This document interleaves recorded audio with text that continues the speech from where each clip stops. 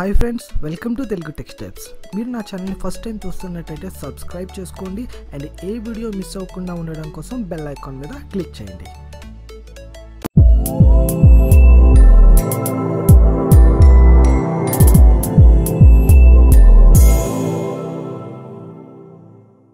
Hi friends ఎలా ఉన్నారు? ఈ సెషన్లో మనం we're going to see promises in JavaScript A promise in JavaScript is just similar to the promises in real life మన యొక్క real లైఫ్లో ఎలా అయితే మనం ప్రామిసెస్ని హ్యాండిల్ చేస్తామో జావా స్క్రిప్ట్లో మనం సేమ్ ఈ యొక్క ప్రామిసెస్ని కూడా మనం హ్యాండిల్ చేస్తామండి. Okay so for example if you make any promises in real life మనం ఏదైనా ఒక రియల్ లైఫ్లో ఏదైనా ఒక ప్రామిస్ చేసాం అనుకోండి సో దాని అర్థం ఏంటి? అది మనం ఫ్యూచర్లో సమ్ టైంలో మనం ఫుల్ఫిల్ చేస్తాం. ఫర్ ఎగ్జాంపుల్ నేను ఫ్యూచర్లో ఒక కార్ కొంటానని కానీ లేకపోతే ఫ్యూచర్లో ఒక బిల్డింగ్ కడతామని చెప్పి ఇలా మనం ప్రామిసెస్ చేస్తూ ఉంటాం కదా. సో లేకపోతే ఒక గిఫ్ట్ ఇస్తామని చెప్పి. సో ఇవన్నీ కూడా మనం ప్రామిసెస్ అన్నీ కూడా ఎప్పుడు చేస్తామని చెప్తామండి?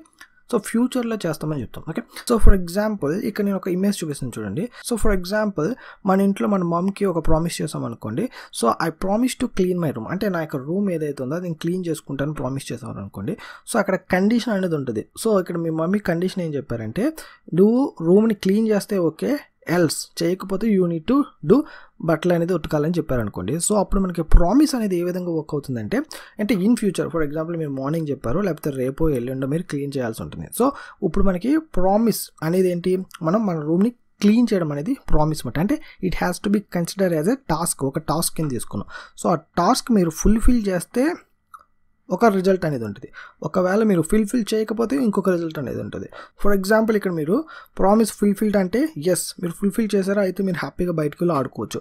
లేదు మీరు ఫుల్ఫిల్ చేయలేదంటే మీరు వెళ్ళి బట్టలు ఉతకాల్సి ఉంటుంది. ఓకే సో మనకి ప్రామిస్కి ఎప్పుడైనా సరే అవుట్పుట్ అనేది టూ వేస్లో ఉంటుంది. Okay so a promise has two possible outputs it can be either kept when it time comes or it could be would not completed okay అది కంప్లీట్ చేయడం లేకపోతే కంప్లీట్ చేయకపోవడం. Okay so this is also same for the promises in JavaScript okay when we defined a promise in JavaScript it would be resolved when the time comes okay so అది execute అవుతుంది లేకపోతే success అవుతుంది. Otherwise it will be rejected అది fail అవుతుంది లేకపోతే అది execute కాదు. ఓకేనా so this is a scenario I just want be explain in this particular promises ఇప్పుడు మనం టెక్నికల్ పాయింట్లోకి వెళ్దాం.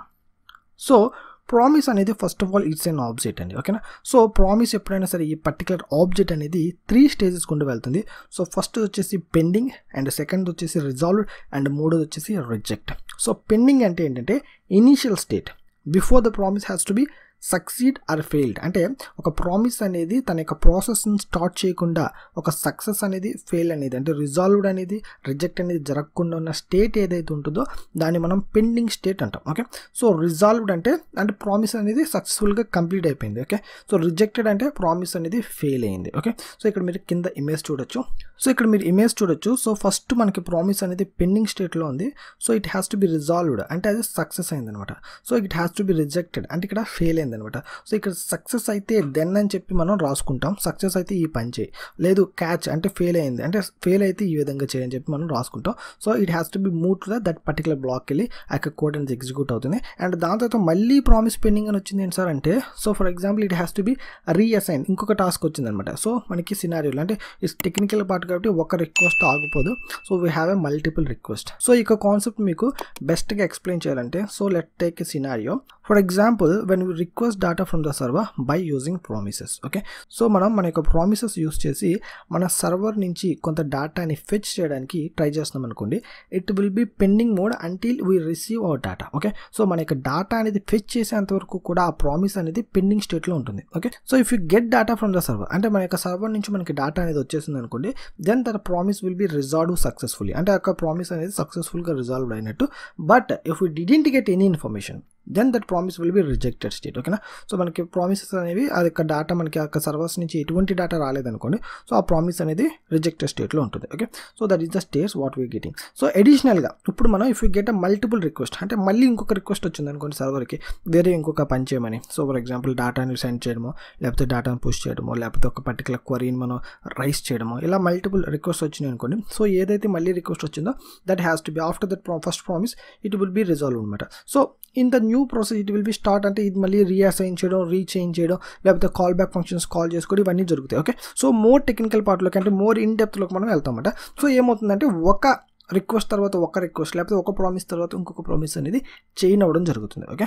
సో మనం కాల్ బ్యాక్స్లో అయితే ఏం చేస్తామండి? ఫంక్షన్ లోపల వేరే ఫంక్షన్ ఫంక్షన్ లోపల వేరే ఫంక్షన్ కాల్ చేసుకుంటాం మోర్ టిపికల్ అయిపోతుంది. సో ఇక్కడ మనం ప్రామిసెస్లో ఏం చేస్తామంటే మన యొక్క ప్రామిస్కి ఒక ఫంక్షనాలిటీ నుంచి వేరే ఫంక్షనాలిటీకి మనం అటాచ్ చేసుకుంటాం అంటే లోపల లోపలికి వెళ్ళాం వన్ బై వన్ మనం చేసుకుంటూ పోతాం okay? So that is the different between the callback functions and promises so ఈ యొక్క కాన్సెప్ట్ గురించి ఇన్డెప్త్గా మళ్ళీ మాట్లాడదాం. బట్ ఇక్కడైతే మోర్ ఫోకస్ అంతా కూడా మనం ప్రామిసెస్ మీద పెడతాం పెడదాం okay so let's move on so first of all let see how to create and use a promises step by step అంటే మన యొక్క ప్రామిసెస్ని ఏ విధంగా క్రియేట్ చేసుకోవాలి ఏ విధంగా యూజ్ చేసుకోవాలి ఇంప్లిమెంటేషన్ స్టెప్స్ నేను చాలా క్లియర్గా నీట్గా వన్ బై వన్ చెప్తానండి. సో ఎందుకోసం అంటే ఈ యొక్క నేను ఆల్రెడీ చెప్పాను జావా స్క్రిప్ట్లో అడ్వాన్స్డ్ కాన్సెప్ట్స్లో ఏవైతే నేను మాట్లాడుతున్నానో అవన్నీ కూడా మీరు ఇంటర్నెట్లో ఎక్కడ పడితే అక్కడ ఎత్తుక్కోండి. సో టోటలీ కన్ఫ్యూజ్డ్ అండ్ మనకి చాలా టైం టేకింగ్ ఓకే సో మీకు అర్థమైతే అర్థం అవ్వచ్చు కాక కాకపోతే one day two day time తీసుకుంటారు. So it completely time waste process and మీకు సమ్ టైమ్స్ మీరు two days three days spend చేసినా కూడా అర్థం కాదు. సో అవన్నీ కూడా నేను ఇక్కడ సింప్లిఫై చేసి నా టైం స్పెండ్ చేసి మీకు ఇక్కడ ఎక్స్ప్లెయిన్ చేస్తున్నాను. సో మీరు జాగ్రత్తగా వినండి. సో ఇంప్లిమెంటేషన్ స్టెప్స్ ఇప్పుడు చెప్పడం లేకపోతే నెక్స్ట్ సెషన్స్లో మీకు ప్రోగ్రామింగ్ చెప్పడం. సో బేసిక్ ప్రోగ్రామింగ్ నుంచి అడ్వాన్స్ లెవెల్ ఆఫ్ ప్రోగ్రామింగ్లోకి వెళ్ళడం. సో ఇవన్నీ చేస్తున్నాం కాబట్టి చాలా జాగ్రత్తగా వినండి. Okay?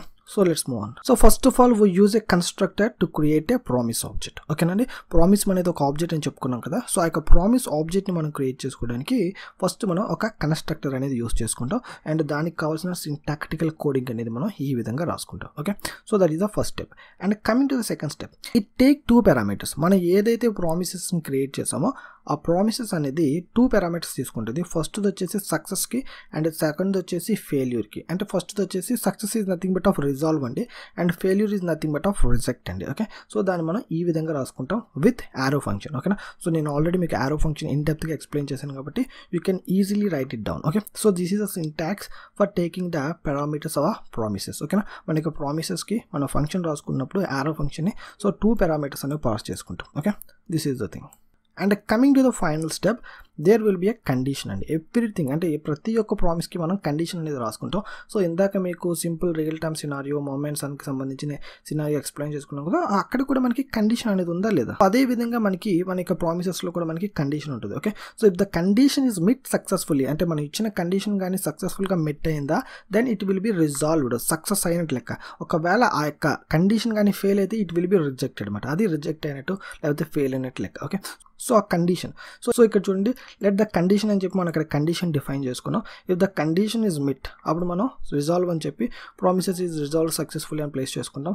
ఎల్స్ అలా కాకపోతే రిజెక్ట్ అని చెప్పి promises is rejected or failure అని చెప్పి రాసుకుంటాం. Okay so this is how we're going to be handle the promises this is the implementation steps so ఇప్పుడు మనం దాని తర్వాత అంటే ఇప్పుడు మనకి కండిషన్ సక్సెస్ అయితే ఏం చేయాలి? కండిషన్ ఫెయిల్ అయితే ఏం చేయాలనేది ఇక్కడ చూపిస్తాను. ఒక్కసారి చూడండి. So this is the very important ఇక్కడ రియల్ టైంలో మనం ఈ యొక్క కండిషన్ సక్సెస్ అయినప్పుడు ఫెయిల్యూర్ అయినప్పుడు చాలా ఇంపార్టెంట్గా యూస్ చేస్తాం. సో అందుకోసం ఈ యొక్క మెథడ్స్ని కూడా నేను ఇంట్రడ్యూస్ చేస్తున్నాను. సో జాగ్రత్తగా వినండి. సో ఇక్కడ మనం సక్సెస్ అయిన ప్రామిస్తో ఏం చేయాలి అండ్ ఫెయిల్యూర్ అయిన ప్రామిస్తో ఏం చేయాలి అనేది ఇక్కడ డిస్కస్ చేయబోతున్నామండి. సో నేను ఆల్రెడీ మీకు ఇమేజ్ చూపించాను కదా. సో ఇక్కడ ఇమేజ్లో మీకు సక్సెస్ అయినప్పుడు చూడండి ఇక్కడ దెన్ అనే మెథడ్ యూస్ చేస్తున్నాం అండ్ ఇక్కడ ఫెయిల్ అయినప్పుడు మనం ఇక్కడ క్యాచ్ అనే మెథడ్ యూస్ చేసుకుంటాం రైట్ సో ఈ మెథడ్స్ ఎప్పుడు వస్తాయంటే మీ యొక్క ప్రామిసెస్ ఏదైతే ఉందో అది సక్సెస్ అయితే అంటే రిజాల్వ్ అయితే మీరు అప్పుడు ఏం చేయాలనేది చెప్పాలి కదా. సో అది మనం ఎక్కడ చెప్తామంటే దెన్ అనే మెథడ్లో చెప్తామట. సో ఈ యొక్క ప్రామిస్ అనేది ఫెయిల్ అయింది లేకపోతే రిజెక్ట్ అయింది. సో అలాంటి సినారియోస్లో అంటే ఫెయిల్ అయితే ఏం లాంగ్వేజ్లో మీరు చెప్పాలి కదా అది మీరు ఎక్కడ చెప్తారంటే క్యాచ్ మెథడ్లో చెప్తారనమాట okay if the promise get resolve successfully then we need to happen something okay so అక్కడ మనం ఖచ్చితంగా ఒక ఆపరేషన్ అనేది పెర్ఫామ్ చేయాలంటుంది కదా సో ఆ కండిషన్ సక్సెస్ అయితే నాకు ఈ పని చేయి అని చెప్పడానికి మనం దెన్ అనే మెథడ్లో చెప్తాం. ఇఫ్ ఇట్ కంప్లీట్లీ రిజెక్టెడ్ లేకపోతే ఫెయిల్ అయింది అనుకోండి సో దాన్ని మనం ఎక్కడ చేయమని చెప్తామంటే ఫెయిల్యూర్ కేసు అయినా క్యాచ్లో చేయమని చెప్తామంట. So for example first of all let take the success so resolved అయిందనుకున్నాం. So then method for the reserved promises so దాన్ని ఈ విధంగా మనం హ్యాండిల్ చేస్తాం.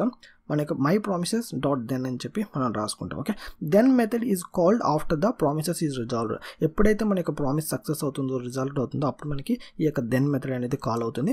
Then we need to decide what to do in that particular resolve promise okay so success అనే ప్రామిస్లో మనం ఏం చేయాలనేది మనం ఏం చేద్దాం అనుకుంటున్నాం అదంతా కూడా మనం ఈ యొక్క దెన్ మెథడ్లో రాసుకుంటామండి ఓకే సో ఫర్ ఎగ్జాంపుల్ మీరు కన్సోల్ ఇక్కడ ప్రింట్ చేద్దాం అనుకుంటున్నారు అనుకోండి.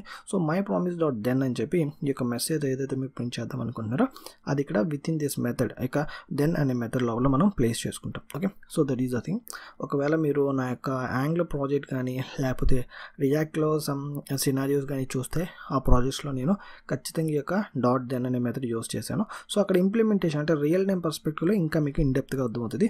ఒకసారి అవి రిఫర్ చేయండి ఈ సెషన్ అయిన తర్వాత. ఓకే సో దట్స్ ఇట్ దాని తర్వాత catch method for the rejected promises for example మీ యొక్క ప్రామిస్ అనేది రిజెక్ట్ అయింది లేకపోతే ఫెయిల్ అయింది అనుకోండి.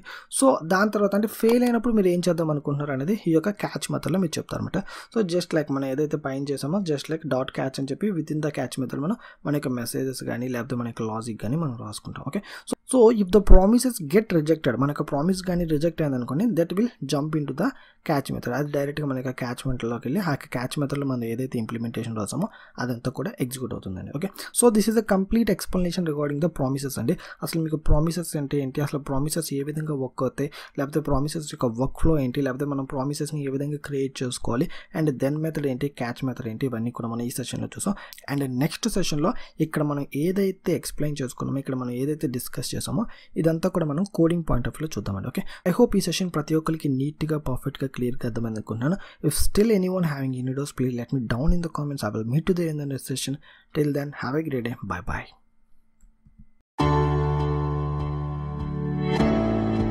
friends ఈ వీడియో మీకు నచ్చితే లైక్ చేయండి మీ ఫ్రెండ్స్తో షేర్ చేసుకోండి మరిన్ని ఫ్రీ క్లాసెస్ కోసం తెలుగు టెక్స్ట్ సబ్స్క్రైబ్ చేసుకోండి. ఫ్రెండ్స్ మీరు చేసే ప్రతి లైక్ నాకు ఎవ్రీడే ఒక వీడియోని రిలీజ్ చేయడానికి motivation so please subscribe and like.